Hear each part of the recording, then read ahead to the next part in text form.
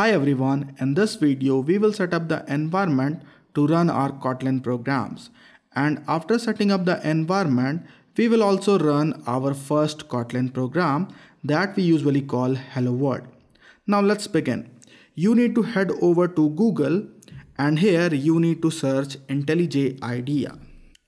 You can click on this download and it will take you directly to the download page. As you can see here, IntelliJ is available for Windows, Mac and Linux. Now whatever OS you are using, you can download this tool. There are two variants of IntelliJ as you can see here. We have Ultimate and it is a paid version. Don't worry, we do not need it. And we have a Community Edition that is absolutely free. We will be using this Community Edition only throughout this course. Now let's download it and install the same way as you install any other program in your computer. In my case, I already have IntelliJ IDEA installed, so I do not need to do it again. Once you have installed it, you can create a new project as I will create here. So first I will open IntelliJ IDEA and here from this button we can create a new project.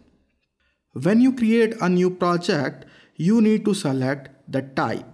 As we are learning Kotlin, we will select Kotlin from the left menu and it is selected by default. But we also need to select a subtype and you can see we have a bunch of options here.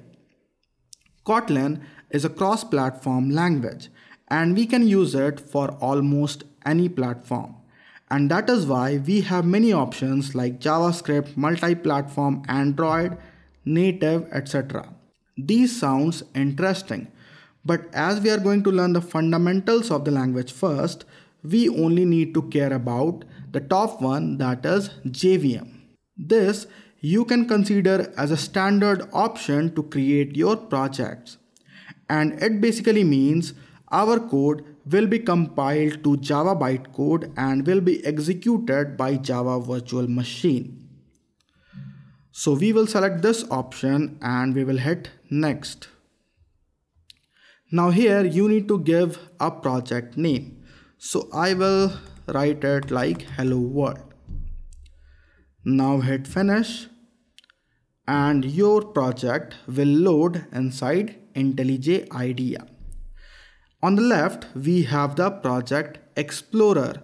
So it will show you all the directories and files available inside your project. And this area is called editor where we will open all our project files. You can see we have an src folder here and inside this folder we will create our Kotlin files where we are going to write our Kotlin programs. So I will create a new Kotlin file class here and I will name it main. Now Kotlin files are identified by the extension .kt. So if you want to create a Kotlin file, the extension of the file should be .kt. And as I am using this IntelliJ IDEA here, we do not need to write the extension of the files. Whenever you will create a Kotlin file using this option, it will automatically put the .kt extension. Now inside this main.kt file, we will write our first Kotlin program that is hello world and it is very easy. So we just need to write fun main and inside main I will write println hello world and that's it. Every program must have an entry point and the entry point means a function called main as we have defined this main function here. The curly braces means the start and the end of the function. Inside the main function, we have written another line that is println. And then inside double quotes, we have written hello world. And hello world here is a string that we are passing to the function println as a parameter. So the function println is a predefined function and it accepts a variable and prints it. And in this case, we are passing a string to this function println because anything you write inside double quotes is considered as a string. On the left of the main function, you can see this green play or arrow icon. This is because of IntelliJ. IntelliJ is little intelligent and it will automatically identify many things for you.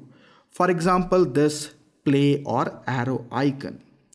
IntelliJ knows this is the entry point of your program and you want to execute it.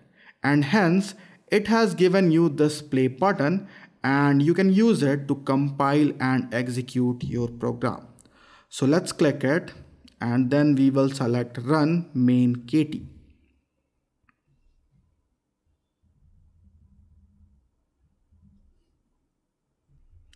Now you can see we have this hello world printed here. And that is what we wanted from this program. Pretty easy, right? Now your task is to print your name in the console. Can you do it? Comment it below. And that's it for this video. Thanks for watching.